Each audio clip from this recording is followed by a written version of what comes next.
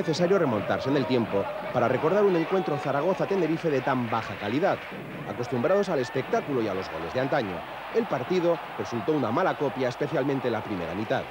El choque cambió de rumbo a los 28 minutos. Con el juego parado para botar una falta, un auxiliar del colegiado Mejía Dávila reclamó su atención en la banda contraria y el incidente se saldó con cartulinas amarillas para Cáceres y Alexis.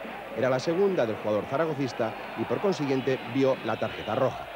El espectáculo brilló por su ausencia en esta fase del encuentro.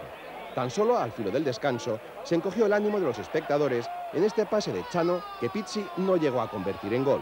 El Zaragoza, con 10 jugadores, hizo méritos suficientes para cambiar el signo del marcador. Por méritos propios y también ayudado por este despiste defensivo que a punto estuvo de convertirse en gol. 30 segundos después, Dani puso en serios aprietos a Ojeda, que a partir de ese instante se iba a convertir en el salvador de su equipo.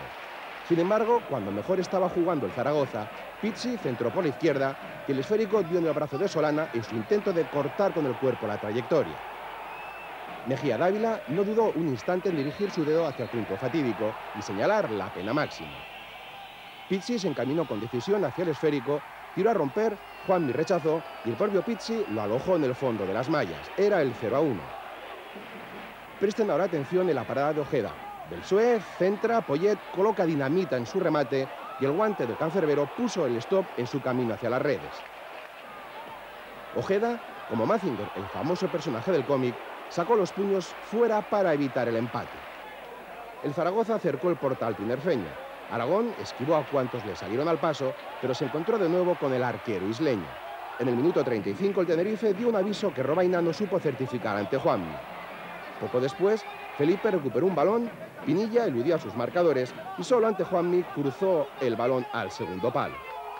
Pinilla, que había entrado en juego mediada la segunda parte, no perdonó la ocasión para sentenciar el triunfo.